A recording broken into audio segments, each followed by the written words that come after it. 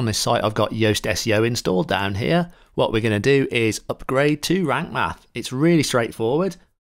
We go to Plugins, Add New,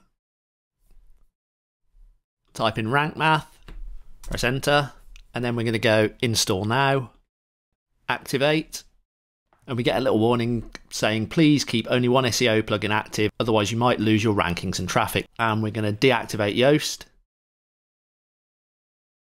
We go to the setup wizard in Rank Math, connect your account.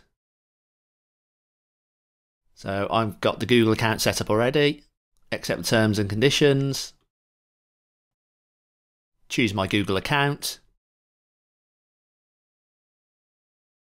and it's telling me we're about to activate it on this site. Press OK. And then we're going to go Start Wizard. And the important bit here is make sure import from Yoast SEO is ticked. Press Start Import.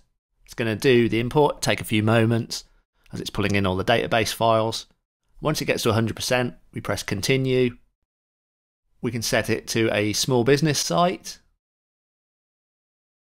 organisation, put the company name in,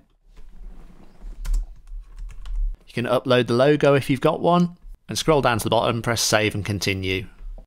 And then we're going to go connect to Google services, choose your account, and then it gives you a couple of choices and you have to press allow, otherwise it won't work. So press allow.